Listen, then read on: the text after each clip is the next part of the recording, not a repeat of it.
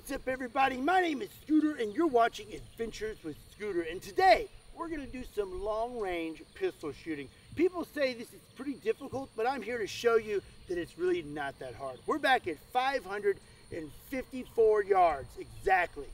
Let's take some shots at these steel targets. Here we go.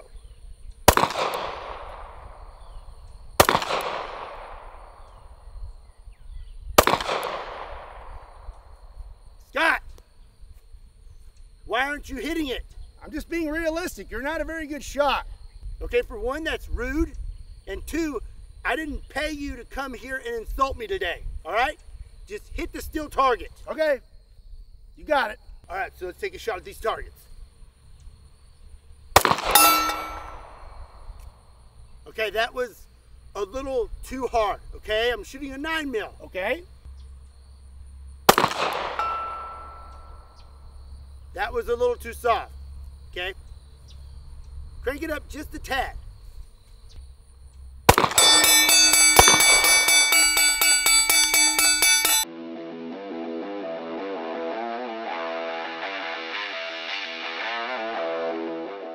What's up everybody? My name is Scott and you're watching Kentucky Ballistics and I'm very excited about today's video because over the years I have shot a lot of big big guns but there's one giant gun that I've drooled over for a long time but I've never actually laid my hands on one.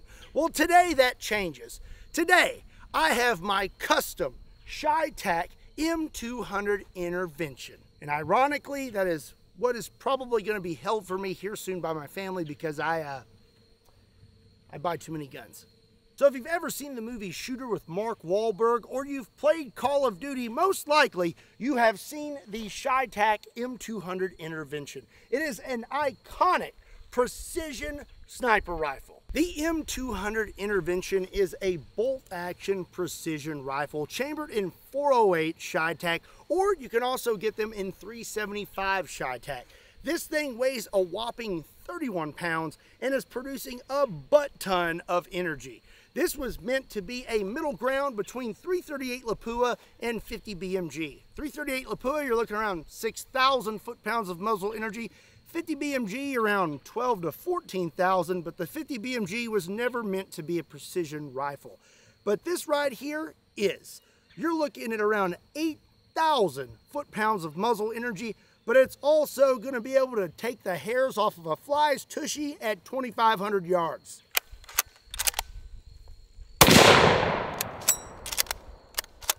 Oh!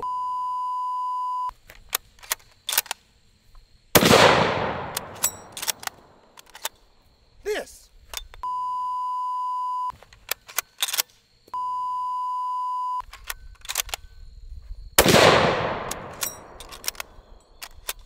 Ha!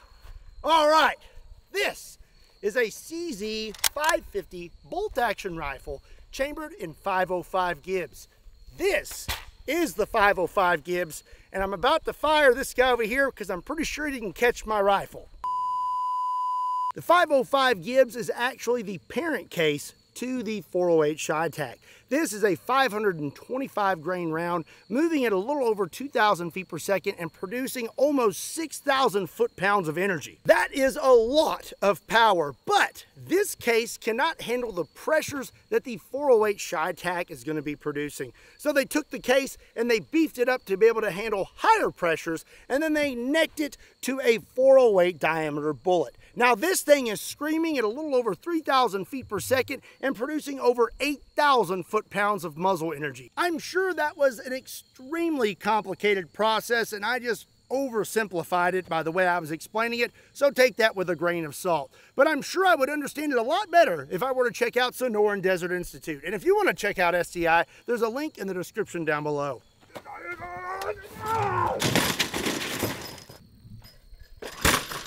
All right time to actually shoot this thing and have a little bit of fun with it. I know that the 408 CheyTac M200 Intervention is meant to be a precision rifle. And today, we are not going to be taking pretty much any long range shots. It's like taking a Ferrari to a go-kart track. But I am going to take it long range shooting at some point, but today I just want to feel it out and I really want to see what kind of energy this thing is producing. Now I have one type of ammunition we're going to be using. I did have two, but uh, didn't really work out. But that is in my extended cut. And if you want to check out the extended cut of this video, you need to swing over to Pepperbox. Myself and pretty much all of your other favorite firearms content creators are over on Pepperbox, along with a few other channels. For eight bucks a month, you are going to get no ads. I'm posting exclusive content and I'm posting extended cuts of all of the videos I post here on YouTube. This does not change anything here on YouTube. I'll still be posting every week and it's 100% free. But if you want to check out that extra content, which I highly recommend, and you're tired of ads, you should check out Pepperbox. Link in the description down below. Did you know that Orbeez can go bad? Oh my gosh. That looks disgusting. Okay, our first target today is going to be a level four ceramic plate. I want to know if we can make it through this thing with the 408 CheyTac. So now I'm going to be loaded up with some CheyTac 419 grain rounds. That is a mean looking little round. Big round, sorry. My perception of what big and small is is very warped at this point. This is a big round, very big. Let's see what it does to that body armor. Oh, and by the way, I'm topped off with a Night Force 7 to 35 by 56. And I believe this is called the A Tacker. I don't know. It's really nice. All right. Woo, that is a long bolt. I think it's gonna go through it. Here we go. Oh, oh, oh.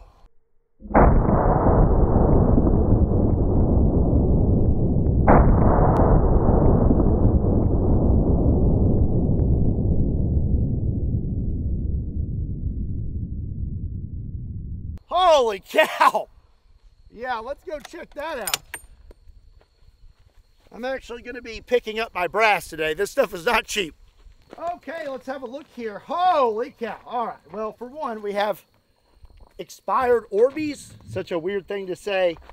And we also have some expired body armor. Holy cow. There's actually some Orbeez stuck in it. But I can get my finger.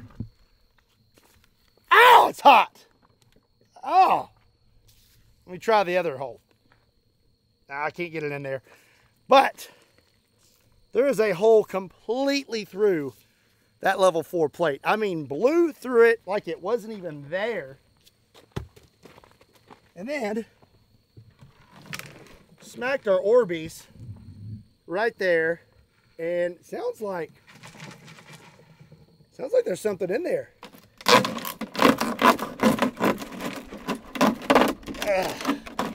You know, you all always say something to me about my Microtechs and how I use them, but I say to you, what is the point in owning it if you're not going to use it? So anyways, let's check this out. Uh, oh. We got some little, some little pieces down here. So we made it through the plate, but we were not completely intact when we made it all the way through. I've just got pieces of that round. I don't know about you, but I am very impressed with those results. But I need to know, are these rounds really screaming like they say they are? Well, there's only one way to find out, and that is with a chronograph. This magical device will measure the speed of our bullets, and later on, I will use it to complete a diagnostic check on my neighbor's truck. Now let's get this thing set up and try it out. Okie dokie. Let's see what kind of reading we get.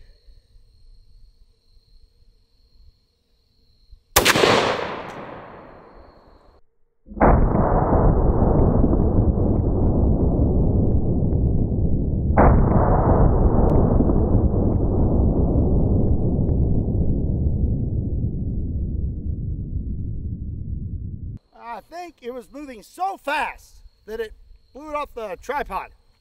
Okie dokie. Yeah, um, I think I shot a little low. So we will have to revisit the speed of the bullet. So I know that this rifle is capable of taking out this wretched creature at 2,500 yards, but I'm not really sure if even the 408 CheyTac is capable of truly disposing of this thing. So luckily for us today, I got a new wood chipper.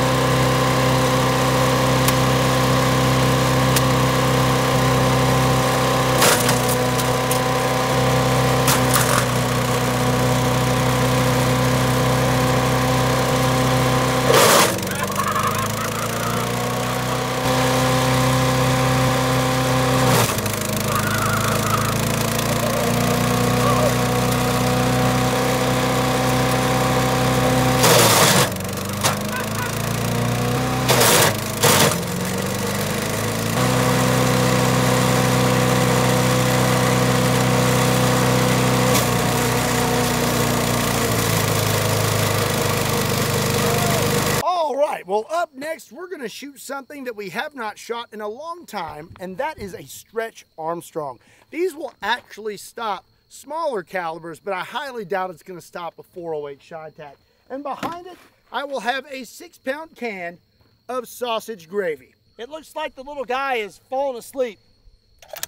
Let's wake him up.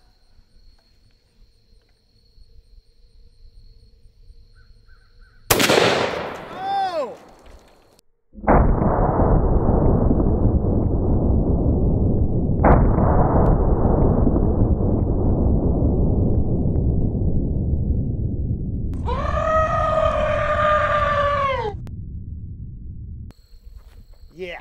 He just kind of got nicked though, I think. But I'm not really sure. No, no, no. Got hit right there. It's just a tiny little hole. But quite the exit hole. And uh, the gravy, well, the gravy caught the rest of it.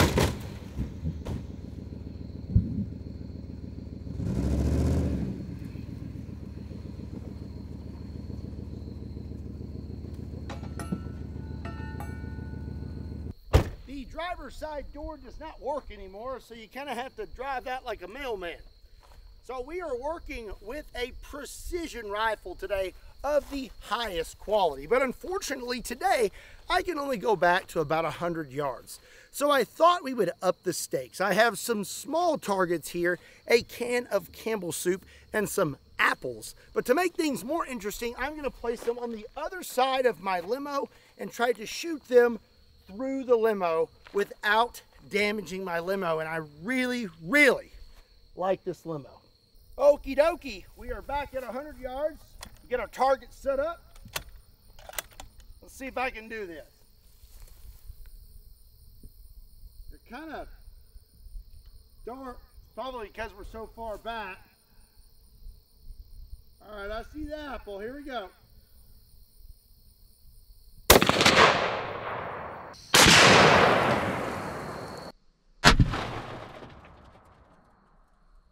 Ah. I forgot to roll the windows down. Mm, yeah. Okay. Well, you know, hindsight's 2020. Should uh should have double checked that. Okay, let's uh let's go to the other side. Yeah, we blew through the other side pretty good.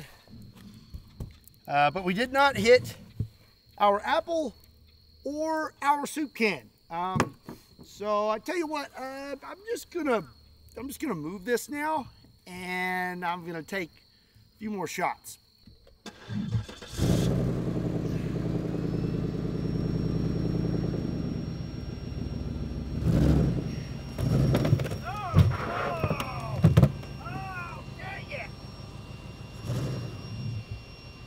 Okay, we are back at 100 yards again, and now I have the apple, a soup can, and some pickles. And again, we're loaded up with some 408 CheyTac 419 grain rounds.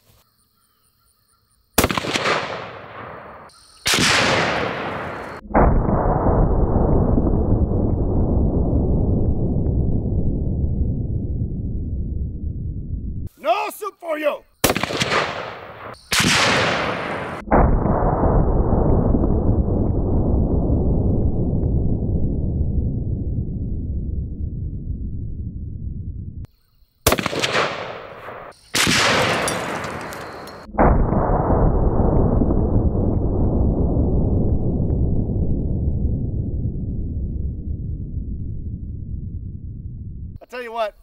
That don't expand, they're still delivering a lot of energy. Big more energy!